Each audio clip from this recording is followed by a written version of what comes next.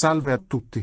Che differenza c'è tra credere nella terra piatta e nel credere che l'asino vola, dato che la scienza non dà verità ma cerca di avvicinarsi alla verità progressivamente senza raggiungerla mai, essa è tale solo se falsificabile, almeno in linea teorica. Per spiegarvi bene cos'è il falsificazionismo dovrei fare almeno 10.000 video, per ora accontentatevi di questa breve definizione provvisoria. Dato che non sono un biologo, né uno zoologo, né un veterinario, non ho mai studiato in vita mia gli asini dal punto di vista scientifico, e non sono nemmeno un fisico o un ingegnere, io non ho idea di come funziona il volo scientificamente o di come far volare un oggetto. Quindi io per poter affermare che l'asino vola o non vola dovrei essere un esperto in materia, non posso parlare senza sapere. Tornando al discorso sul falsificazionismo, se la scienza fino ad ora sostiene che l'asino non vola non è detto che questo assunto sia vero per sempre, magari tra qualche anno la scienza, studiando gli asini, scoprirà che in realtà essi volano, o al limite che potrebbero volare, o che potevano volare in passato e che con l'evoluzione hanno perso questa capacità,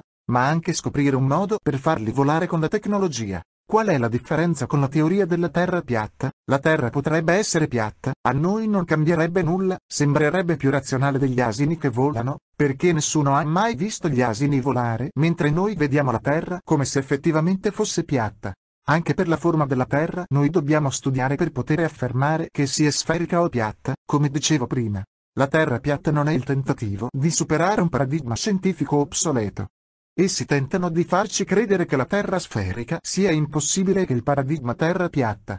La scienza crede che l'asino non vola perché basandoci sulle attuali conoscenze scientifiche gli asini non volano. Non ci sono complotti per impedire agli scienziati di dimostrare il contrario. Semplicemente fino a prova contraria la scienza dice che l'asino non vola. Invece i terrapiattisti devono inventarsi cose per cui ci occulterebbero la presunta verità, ad esempio dicono che le immagini dello spazio sono false e che la NASA è tutta una montatura.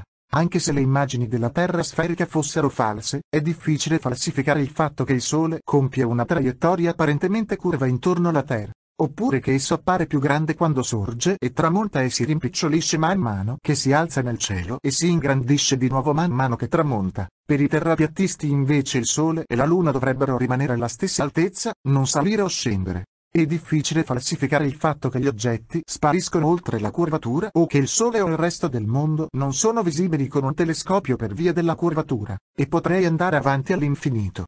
Gli asini potrebbero volare mentre non li vediamo, ma la Terra rimane sferica anche se non la vediamo. Per questo ritengo più razionale credere negli asini che volano che nella Terra piatta. Aspetto i vostri dislike. Per il momento questo è tutto, alla prossima.